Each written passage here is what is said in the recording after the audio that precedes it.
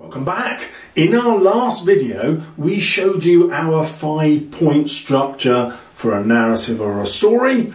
In this video, we're going to show you it again with real stories so you can see how to apply it. And remember that we had taken distinctly different approaches to writing a story. Remember that both myself, First Rate Tutors, and Mr. Salles believe when it comes to question number five in paper one, you want to always go for a story because it gives you more flexibility, more room for maneuver, and also you can create and write a really compelling story. So whilst Mr. Salles is going to show you the Mr. Salles method, I will also show you how to craft the perfect story and how to apply the story mountain structure to this story idea.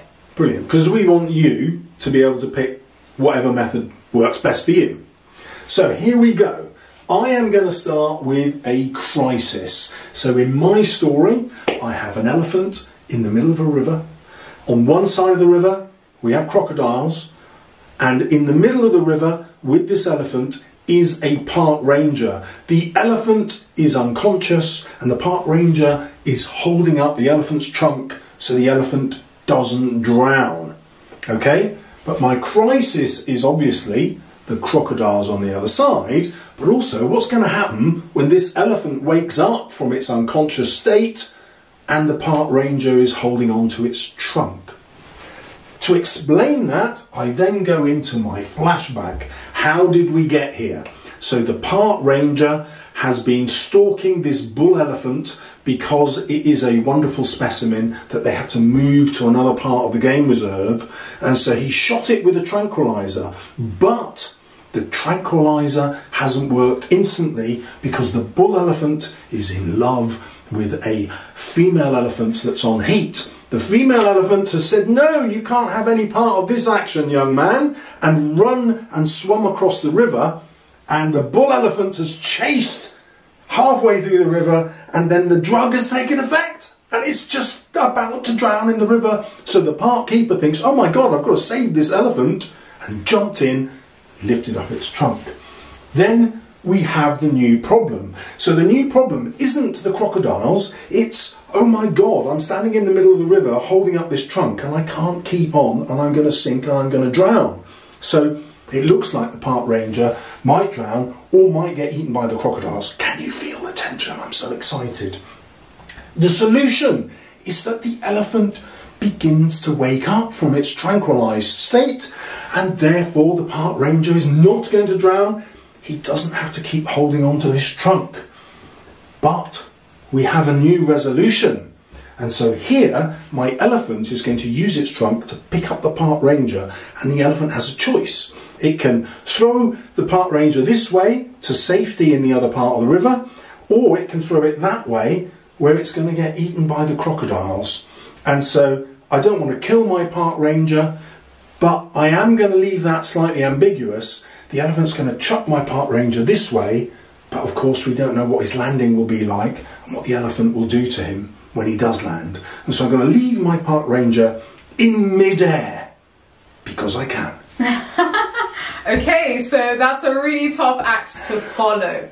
Now, guys, as I said, I'm going to show you how to apply the story mountain structure to a fairly more straightforward story structure, okay? So as I mentioned, guys, I like to go for just a simple five-part story mountain structure, beginning, build up, middle, uh, problem, resolution, and ending. Meaning, in your beginning paragraph where you are establishing the scene, in my story, my model response, I would establish the start of my story somewhere tropical and exotic. For example, the Maldives. So, my protagonist is on holiday in the Maldives. They were really excited as they woke up only to be crestfallen, to be disappointed that the clouds are brooding in the sky because I want to include pathetic fallacy to establish my atmosphere. So the dark clouds seem brooding, they seem pregnant with rain, and the uh, protagonist is really crestfallen, they're really disappointed, they were looking forward to kayaking,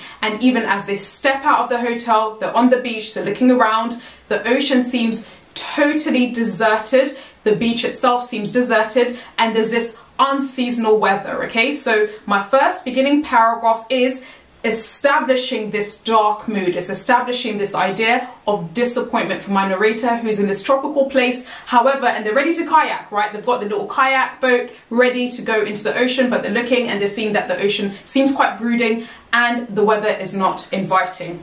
That's paragraph number one. I've established a very dark atmosphere and also a negative mood. However, I'm going to turn that around in my second paragraph.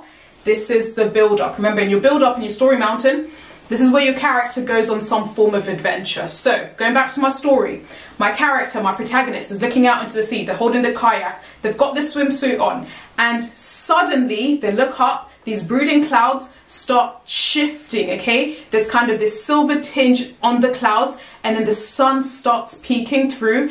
And this ocean, which seemed dark, it seemed navy, starts becoming a little bit more azure or turquoise, okay? And this is a sign to my protagonist that they maybe can go out into the open seas. Even if the beach is deserted, even if the ocean seems deserted, actually they decide, no, I'm on holiday and I'm gonna take a chance. The sun is inviting me there, okay? So my build up is they get onto the sea, they get the kayak onto the sea, and optimistically they start paddling forward and the sun starts peeking out even more. Pathetic fallacy as well, okay? That's my second paragraph. Then, my third paragraph, we're getting to the top of the story mountain. This is where there's a problem, okay?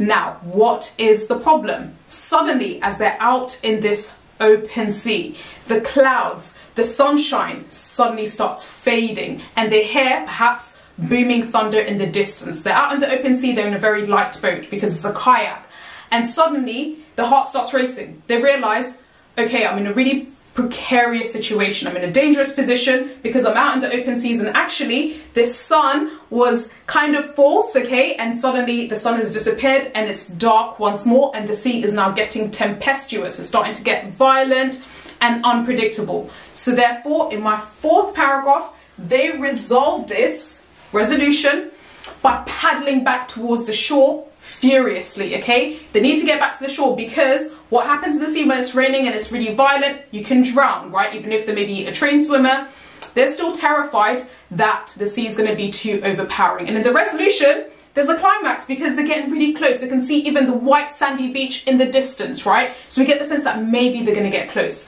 However, I'm going to end with a cliffhanger in my fifth and final paragraph because as they near the shore, they near the paddling furiously, they're paddling furiously. Suddenly, a wall of dark water rises up behind them, sweeps over them, and plunges them back inside the ocean. Okay, so I've ended on a cliffhanger where my reader is unsure whether this person has died or have they made it. Okay, so that's my story according to the Story Mountain instruction. Of course, Mr. Salles has shown you this story according to Mr. Salles' structure. And we both ended on a cliffhanger, which I hadn't predicted. Oh, yeah. um, you don't have to do that. You can actually end it in a more traditional way, but equally, you can pick the way that we've done it.